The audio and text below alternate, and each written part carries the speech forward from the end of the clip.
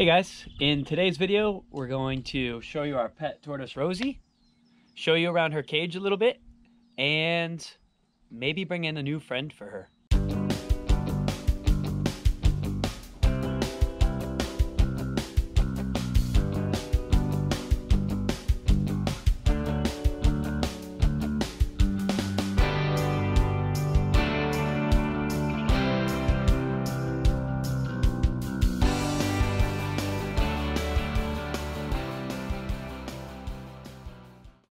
Rosie is an African spurred tortoise or a sulcata tortoise, and she's about 11 years old.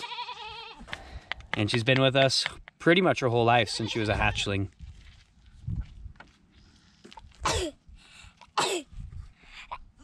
Bless you. Sorry. She also likes eating colorful shoes. So this is her enclosure.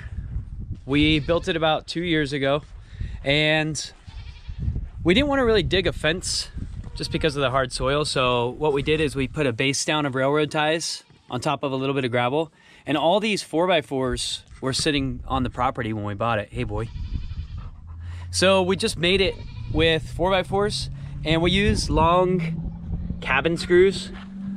They're about six inches long to hold it all together. And then we anchored the railroad ties with three foot rebar so it didn't move too much. Sometimes she likes to dig out, so what we do rather than pour a bunch of concrete or something below, we just spot check it. And when she starts to dig out, we drill a hole through the railroad ties and we stick a piece of rebar through and we hammer it down, usually about two feet deep. And that pretty much stops her from wanting to dig out. But most times she doesn't want to dig out. She's pretty happy. And this is Rosie's house. It, her house is actually a burrow. It's not in there. It's actually a burrow that goes down underground. I'll show you what it looks like on the inside.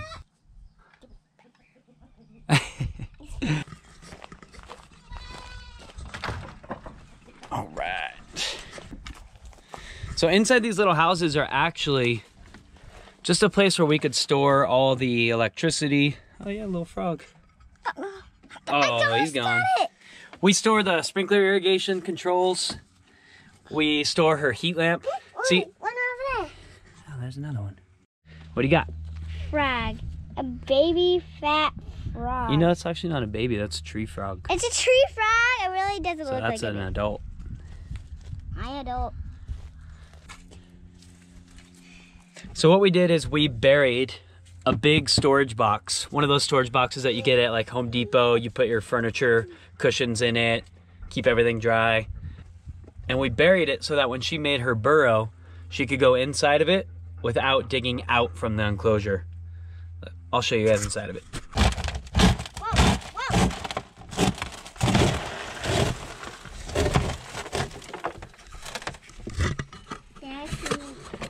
We could check in and peek on her and look at her. So that's where her actual den is, down below.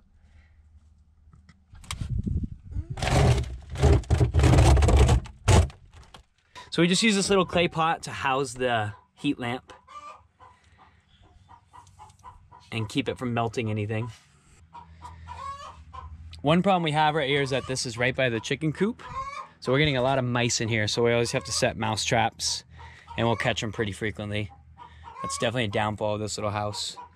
On this side is not a den, it's more like a little shady hangout and we're hoping yeah, we're hoping that when we get our new turtle, it's going to hang out in here and maybe live in here for the summer and then share the den.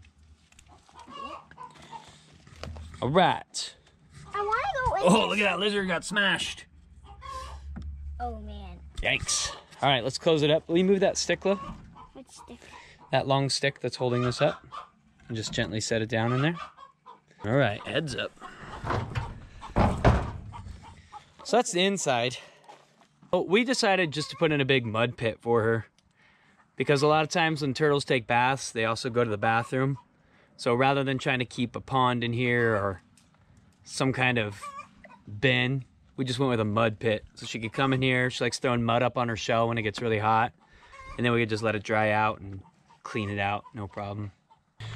Sometimes we let her out to go basically graze the property, but you got to keep a close eye on her because she disappears so fast. You wouldn't think so, but she disappears really quickly.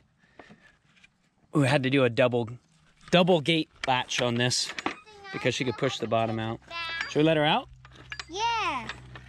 Yeah. Rosie, you want to come out? Anjay doesn't bother her at all. Oh boy. If anything, she bullies him. Dad, I'm just trying to help her. You know, get across. That's so nice. You know. Sometimes I think we should have got a herd of turtles instead of goats because she does a better job with the weeds. Problem with letting Rosie out of her cage is when you want to put her back, she weighs about 50 pounds. She's really heavy.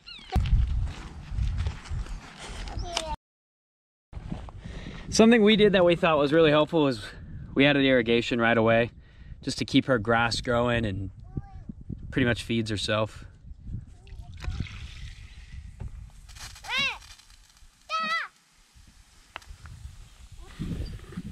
Before we even built the enclosure, we built this for the kids just so they could have something to do while we were building it. That's pretty fun. Lily won't let me call it a tree house, so we call it, what do we call this? A lookout. A lookout. And it's a pretty good little lookout. And we can drive a boat.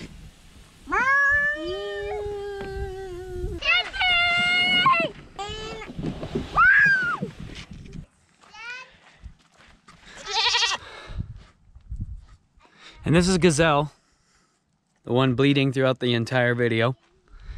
So we're gonna get her, yeah, we're gonna get her some alfalfa so she calms down and lets us film.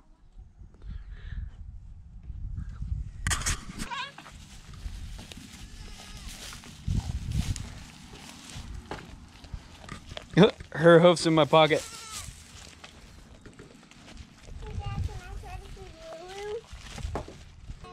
Hopefully that will keep him quiet for a little bit.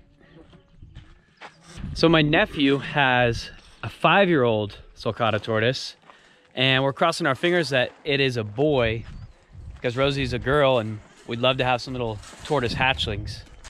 My sister and her family just got here. It's the first time the girls have seen their cousins since the quarantine started, so we're gonna uh, do a little bike ride in, feed the goats, Good night. ride motorcycles. Hopefully introduce the turtles and they like each other. All right, Rosie. Your friend's here. There's Tortusta. Go ahead and set it- it down. Oh, it's so much smaller. Oh yeah. Here, let's let's put Tortusta on top of Rosie. Ah! Hey, what kind of Oh, look at Tortusta's like, I'm out of here.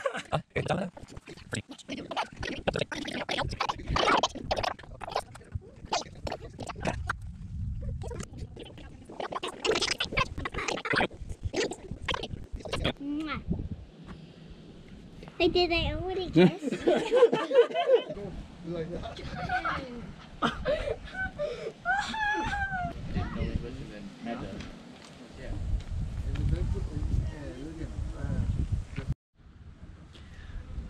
So I don't know if my nephew's tortoise is gonna be able to stay here.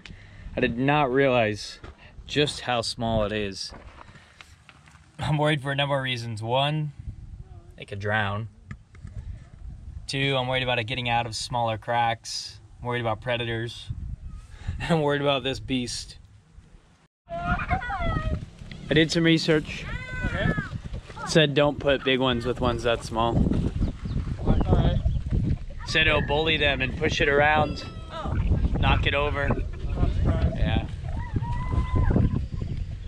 Well, What do you think? I think we should take it back home and have yeah, we're, we need to redo the cage. a pen.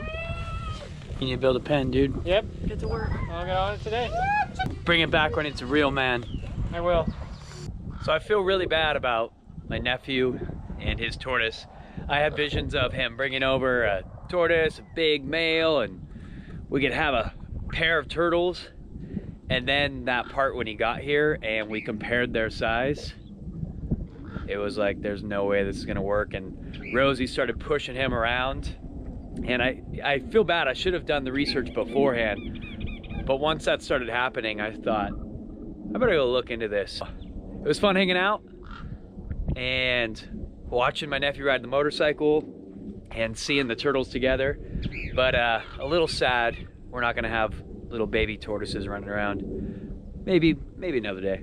Can you tell everybody to like and subscribe to our channel? If you don't like and subscribe, the spider will be in your bed tonight. and hit the bell. Hit the bell. Leave a comment. Leave a comment.